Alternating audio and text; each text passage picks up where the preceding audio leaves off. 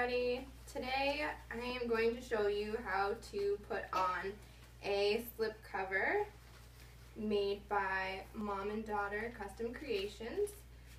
So first what you do to make it easier is I normally put it on.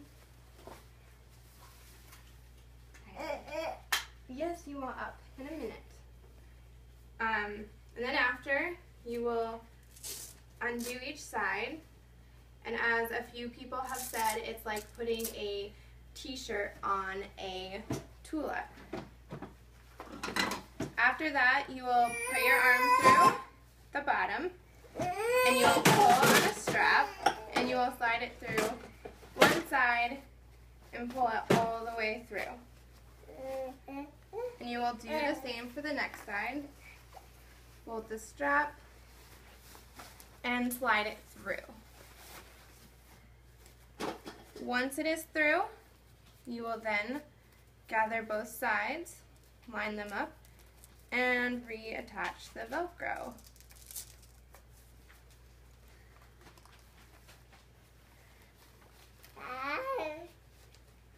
And the same goes for this side.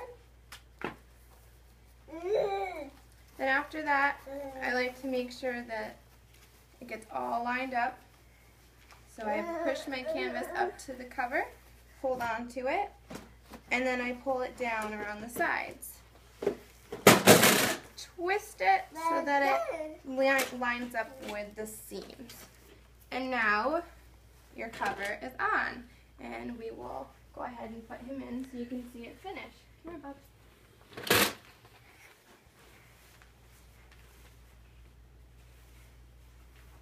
Okay. Yeah. Okay. Okay. Yeah, what do you see? Your toys?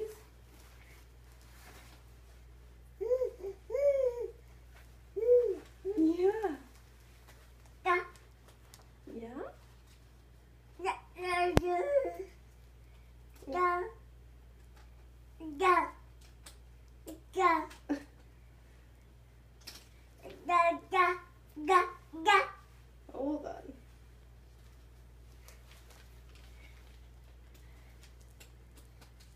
Yeah. Okay. Can we go ahead and put your arm in so you can show them? Okay. Alright. And Tighten.